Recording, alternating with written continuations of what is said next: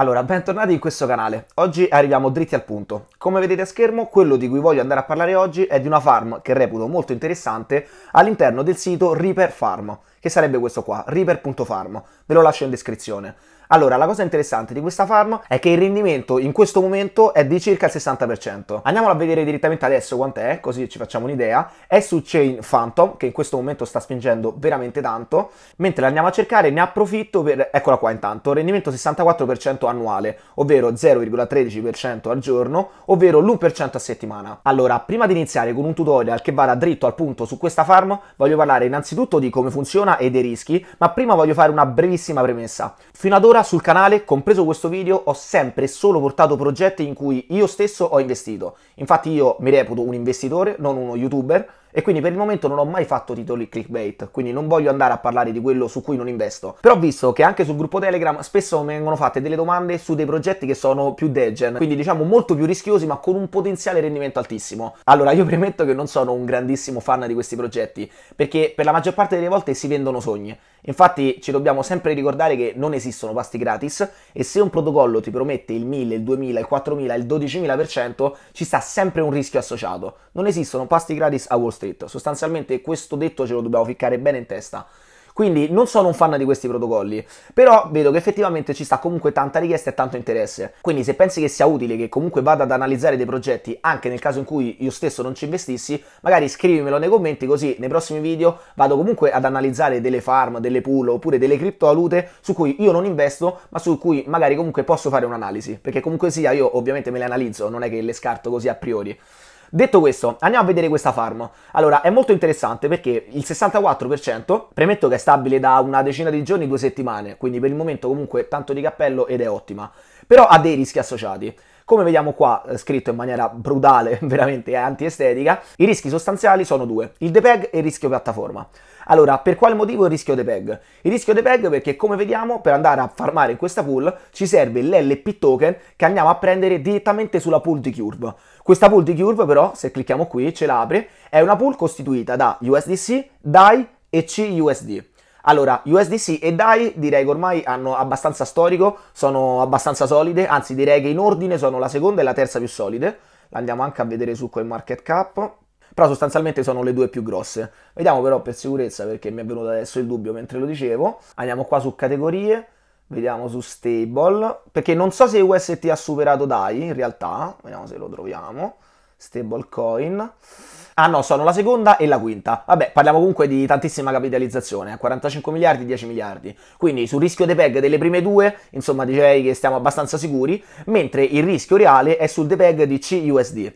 Allora, che cos'è CUSD? Sarebbe Creditum Revenant, eccolo qua, CUSD sarebbe una stablecoin sovracollateralizzata, ovvero per ogni CUSD che esiste in circolazione esiste dietro, quindi è backed si dice, esiste dietro un collaterale che è maggiore di un dollaro. Però senza ci fidiamo né di quello che dicono loro né di quello che dico io, andiamo a vedere quanto è sovracollateralizzata, quant'è il rischio associato a questa criptovaluta.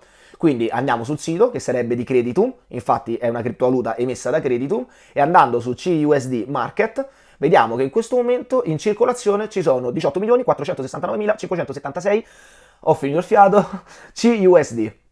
E dietro questi CUSD che sono stati mintati, che sono stati creati, ci sono dietro, backend, ci sono 22 milioni di dollari. In questi due 22 milioni di dollari, in che cosa sono? In dollari, in bond argentini, tedeschi? Andiamolo a vedere. Dietro questi 22 milioni ci sono questi asset, quindi Phantom, USDC a sua volta, DAI, Ether, Bitcoin e di nuovo delle forme tokenizzate di DAI e Phantom.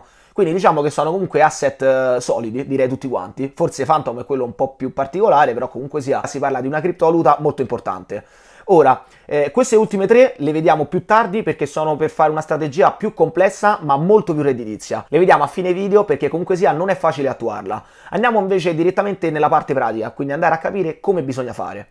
Abbiamo detto che per entrare in questa pool, che sarebbe questa qua, bisogna avere questo LP token. Quindi clicchiamo sulla pool, chiudiamo la schermata di prima. Per avere l'LP token bisogna depositare su Curve ovviamente Chain Phantom, va bene anche a dirlo, bisogna depositare una di queste tre cripto, CUSD, DAI o USDC. Allora, l'ipotesi CUSD è quella un po' più complessa e quindi la vediamo dopo. Andiamo a vedere l'ipotesi DAI e USDC. Quindi dobbiamo andare a depositare o DAI oppure USDC su Curve. Mi raccomando, ho detto o perché su Curve non è necessario depositarle bilanciate. Possiamo anche, non so, abbiamo 1000 DAI, possiamo anche andare a depositare direttamente tutti e 1000 DAI insieme, senza USDC. Quindi come facciamo? Innanzitutto bisogna avere su Metamask ad esempio dei Phantom. In questo momento ad esempio io su Metamask, su questo account, ho due Phantom. Quindi direi che il punto di partenza è questo qui. Ho due Phantom e 5,84 DAI. Ovviamente se voi non aveste i Phantom su Metamask potremmo mandarli qui ad esempio passando da Binance oppure da Wobby, prelevando su rete Phantom e quindi ci ritroveremo allo stesso punto di partenza. Ovviamente poi ci stanno tantissime persone che possono partire da punti di partenza differenti, non so, mi viene in mente qualcuno che ha UST su Anchor, oppure UST a UST su Loop Finance, insomma ovviamente i punti di partenza sono infiniti. Prendiamo il caso base, abbiamo i Phantom su Metamask e dobbiamo riuscire ad avere DAI. Come facciamo? Andiamo ad esempio su un DEX che opera sulla Phantom Chain, come potrebbe essere ad esempio SpookySwap. Dico SpookySwap perché è uno dei più liquidi. Quindi andiamo a prendere la coppia di scambio, eccola qua, Phantom, e andiamo a cercare DAI. Eccolo qui, ci permette anche di aggiungerlo direttamente a Metamask con il più. Io di solito non consiglio mai di fare questo perché potenzialmente potremmo anche andare a prendere dei contratti malevoli. Quindi io tendenzialmente mi vado a prendere il contratto fuori, direttamente su un motore di ricerca oppure sul sito di Phantom oppure su CoinMarketCap. Anche se comunque bisogna stare attenti perché anche su CoinMarketCap non siamo mai sicuri. Di recente c'è stato il problema con Shiba Inu, che vabbè, Shiba Inu è una shitcoin e sono contento che abbia avuto quel problema, no dai, a parte gli scherzi, eh, insomma Shiba Inu ha avuto quel problema, nel senso che su CoinMarketCap erano stati listati dei contratti sbagliati, quindi mi raccomando sempre massima attenzione, soprattutto se iniziamo a movimentare delle grosse somme. Ora, detto questo, ho lo scambio Phantom DAI, attenzione solamente a non andarli a mettere tutti quanti, perché poi i Phantom ovviamente ci servono per approvare le varie pur, le varie farm e tutto quanto. Quindi non utilizziamo tutti i Phantom. Quindi ad esempio, non so, metto un Phantom, tanto io qualche die, giusto a scopo d'esempio, ce l'ho già, dovrei avere tipo 5 die, se non ricordo male. Ultimamente Phantom è velocissima, si fa per dire. Eccola qua. Sì, ho 5 die e ho anche già la prova del pull che ho fatto. Comunque sia, quindi eh, vado ad esempio a swappare un Phantom e vado a fare direttamente qua swap. Ora, con questi DAI possiamo andarli quindi a depositare direttamente su Curve, perché come abbiamo detto possiamo depositare qualsiasi asset in qualsiasi quantità desideriamo. Ah, prima di continuare voglio specificare una cosa. In questo momento la farm paga il 64% ed è effettivamente da forse una decina di giorni che la sto tenendo monitorata e che in realtà prima pagava anche di più, è partito dall'85 se non sbaglio. Quindi sta tenendo abbastanza bene. Ovviamente teniamo in considerazione con le fee che andremo a pagare, che comunque eh, sono poche, ma si parla comunque penso in totale di forse 4-5 dollari per andare a depositare e fare tutti gli swap, più o meno, ovviamente dipende dal punto di partenza. Teniamo in considerazione che questo API non è che è destinato a durare effettivamente per un anno, cioè se noi avessimo un API che paga sul dollaro del 64% per un anno, capiamo bene che tra un anno metà della popolazione mondiale diventerebbe ricca, perché ci metterebbe casa e tutto quello che ha. Quindi mi raccomando, teniamo in considerazione che queste sono pool che sono abbastanza destinate a calare, motivo per cui su questa pool io mi ci espongo poco, perché ci sono comunque due rischi sostanziali, che abbiamo detto il primo è il rischio DPEG, quindi il rischio che ci sta riguardo a CUSD, che potrebbe perdere il PEG con il dollaro, infatti CUSD comunque sia non è USDT, non è USDC e non è neanche DAI, è una criptovaluta che è una stablecoin che per il momento diciamo mi dà un po' di sicurezza, però come ho detto mi dà un po' di sicurezza, io per esempio ci andrò a mettere il 5% della mia liquidità, quindi non è che vado a fare all-in perché paga il 64%. Io in questo momento di mercato sto in modalità safe. Lo so che si parla di DAO, di criptovalute che danno il 12.000%, insomma si parla di questo, ma secondo me si stanno vendendo sogni. Cioè non esiste un rendimento altissimo se non correndo un rischio altissimo.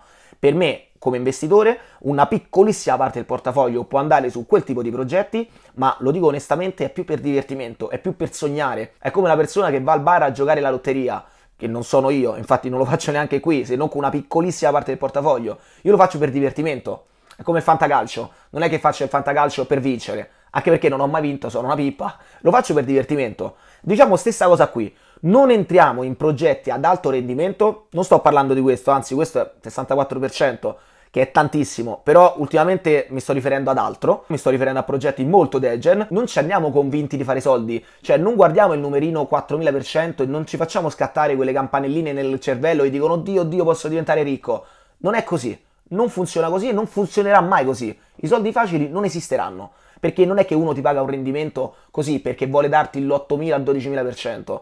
Quei soldi che qualcuno ti sta dando sono i soldi di qualcun altro. Perché fino a prova contraria, insomma, non esiste una stampante monetaria che può creare veramente ricchezza, neanche la stampante monetaria reale della BCE crea veramente ricchezza, anzi la distrugge. Quindi mi raccomando, andiamoci con i piedi di piombo. Secondo me, poi adesso ricontinuiamo il tutorial, è molto preferibile fare un 300, un 400% su Ethereum oppure su Bitcoin che un potenziale 20.000% su, eh, che ne so, su qualsiasi altra criptovaluta che sta andando in questo momento. Perché? Perché ovviamente a livello numerico no, è meglio il 20.000% del 400%, però il 400% magari lo fai su un 60% di portafoglio, perché comunque su Bitcoin e su Ethereum, a livello di portafoglio cripto, logicamente, uno ci si può anche esporre molto, stiamo parlando veramente delle top.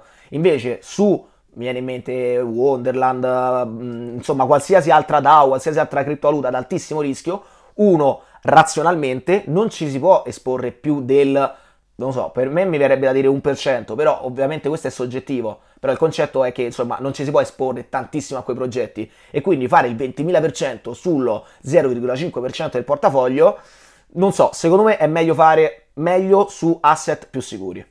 Fatto questo pippone che non c'entra niente col video, vabbè, andiamo a vedere quindi. Abbiamo DAI, Andiamo su Curve, depositiamo direttamente i DAI, ecco qua, quindi andiamo su... Vabbè, qua ci siamo arrivati direttamente passando, abbiamo detto qui dal, dal link. Arriviamo su Curve, andiamo su DAI, qui in alto Deposit, e qui ci dovrebbe, almeno in teoria, segnare i DAI che abbiamo su Metamask. Ora ci sta mettendo un po', penso che sia la chain di Phantom che stia avendo qualche problema perché sta andando veramente lenta quindi ci mettiamo 8,71. Quando depositiamo su Curve controlliamo sempre lo slippage qua in basso. Quando è verde, tipo in questo momento è tanto verde, vuol dire che Curve ci paga uno slippage a noi positivo dello 0,21 quindi solo nel depositare stiamo andando a prendere lo 0,21%. Questa cosa è ottima perché innanzitutto solitamente lo slippage è negativo. Se è positivo guadagniamo due volte, non solo non lo paghiamo ma lo andiamo anche ad incassare noi. Perché avviene questa cosa? Perché in questa pool evidentemente in questo momento i DAI questi qua, quindi quelli che noi andiamo a depositare, sono meno di quello che dovrebbero essere e quindi Curve cerca di incentivare a depositare DAI. Insomma, cercano di andare a far fare un arbitraggio direttamente agli utenti. Quindi andiamo a depositare DAI, clicchiamo su Deposit,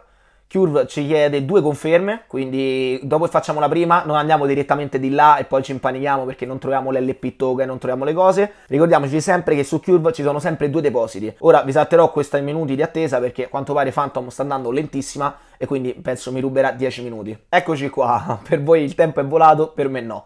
Quindi abbiamo depositato i DAI su Curve. In questo momento Curve ci ha dato un LP token, quindi una ricevuta del nostro deposito. L'LP token lo possiamo vedere direttamente su Metamask. L'unica cosa è che come sempre, se voi non lo aggiungete alla lista dei token, voi non lo potete vedere. Sappiate che per il momento vederlo è inutile perché non ha nessuno scopo. Nel caso in cui voleste comunque vederlo, basta andare direttamente qui su impostazioni, FTM Scam, sì, ciao, scam. Scan, scam è truffa, non è questo il caso.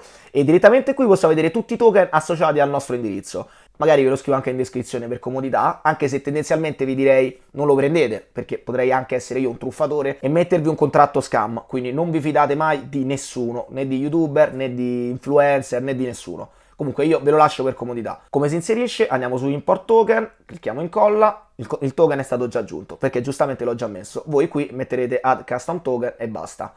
Una volta che abbiamo l'LP token, il gioco è praticamente finito, torniamo su reaper.farm, andiamo sulla pool di nostro interesse e come vediamo adesso gli LP token sono aumentati, perché ci sono anche quelli che ho appena creato, andando a depositare su Curve.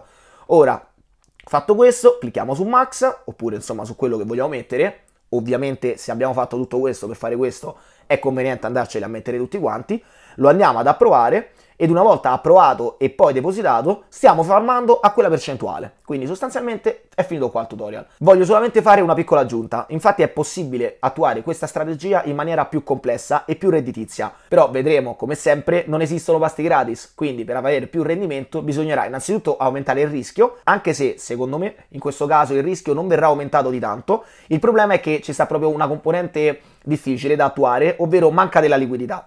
Infatti, se, se noi andassimo su Yearn Finance, che è sostanzialmente una, una, piattaforma che attua delle strategie per avere dei rendimenti maggiori sugli asset, che cosa potremmo andare a fare? In, te- in linea teorica, vediamola almeno in linea teorica.